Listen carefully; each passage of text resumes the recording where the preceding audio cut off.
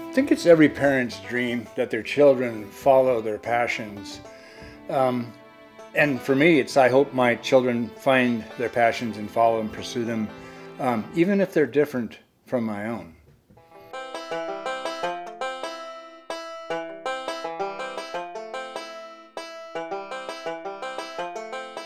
And I wouldn't expect them to take on my daydreaming ways and play the thin odds of taking animals with traditional archery gear.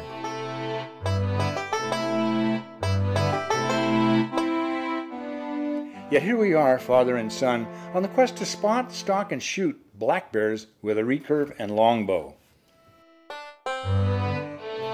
Couple mosquitoes here, wouldn't you say? We cross a tiny creek. It looks innocent enough, but I find it waist deep and bone chilling cold when I land short and I jump to the other side. Beartopia. Right up there. All we gotta do is survive the bugs.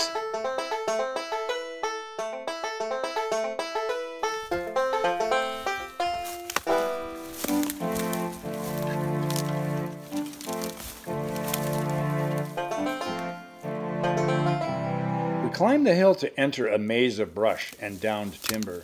We climb hard for an hour only to find that conditions only get worse. With that, we decide to retreat and look for another area. We take a different route to the truck on our way back, and we find the tiny creek impossible to cross at no fewer than six places. How deep was it back there, Clarence? Don't show mom. Well, he didn't fall in. Well, I fell in, but not not there. we'll get across this wretched little thing yet. With the sun going down and the mosquitoes coming up, we drive north to higher elevations where we hope to camp in a breeze that keeps the mosquitoes at bay.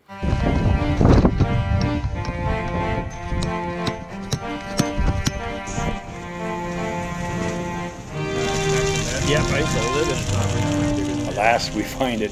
By the time we secure the teepee and cook up our grub, it's past one in the morning.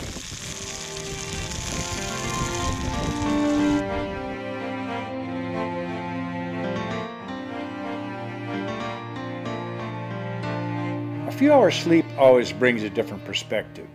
We wake to hot sun and calm wind. The plan is to drive north to Coldfoot top off the fuel, then head back south and hunt the hills around the Kanuti River. We got full on fueled up at Coldfoot.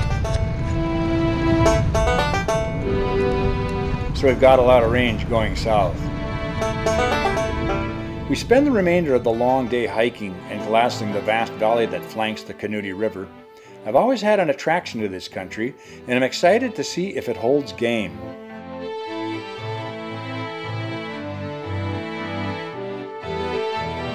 After we've hiked our last mile and our eyes have tired of looking through the binoculars at an empty landscape, we make camp at a place with a view and dried firewood.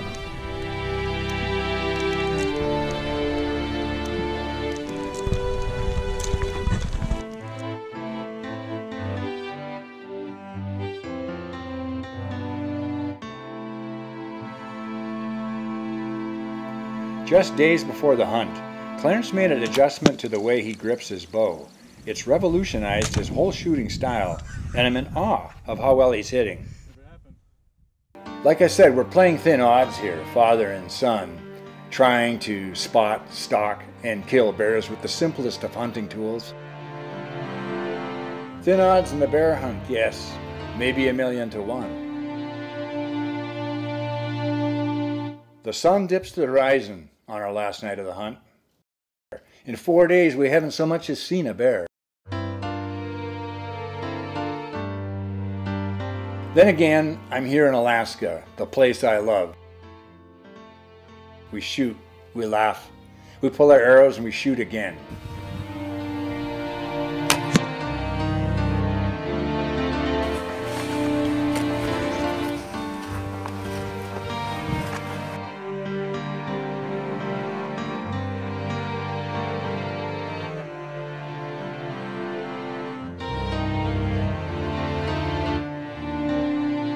On this night, falling short doesn't feel too bad.